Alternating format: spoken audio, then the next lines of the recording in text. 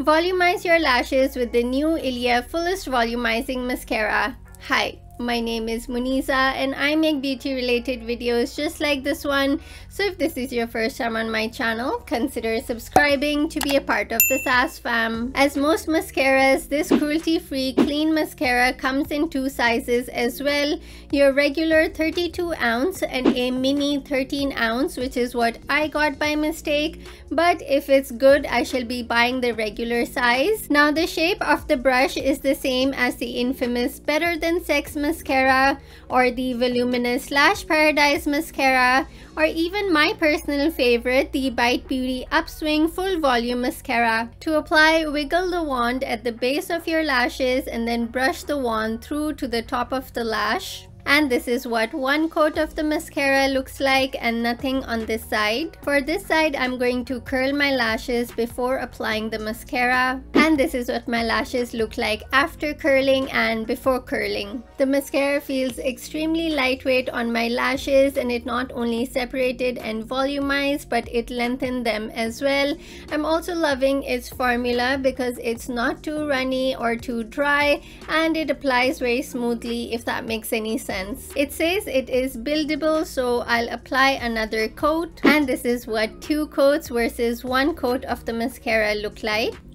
And this is two coats before curling my lashes and after curling them. I personally don't notice much difference between one coat versus two coats of the mascara but even though I applied two coats of it, it hasn't clumped my lashes still feels lightweight and I'm definitely loving it so far but I'll check back in a bit to see if it has smudged or flaked. Checking in after 2 hours and from afar the Ilia Fullest Volumizing Mascara looks great and then if I bring you up close you'll see that the mascara hasn't smudged or flaked.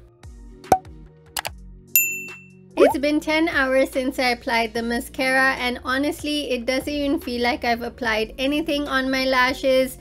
Looks good from afar and then looks good up close as well because I don't notice the mascara smudging or flaking even though my eyes have been watering all day because of allergies. My fan thoughts on the Ilia Fullest Volumizing Mascara is that for 18 Canadian dollars plus tax, I think it's worth it and I'll definitely be buying the regular size after I run out of this one. And then in terms of ratings, I'll give it 5 stars because as you saw, it did not clump my lashes but it did volumize and lengthen them.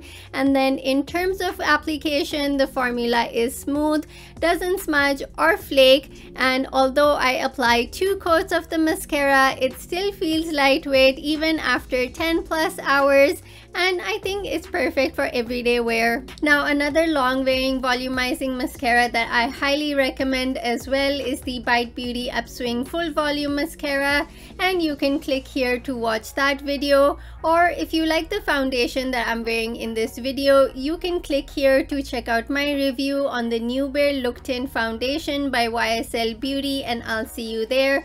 Also don't forget to smash the like button and subscribe to be a part of the SAS fam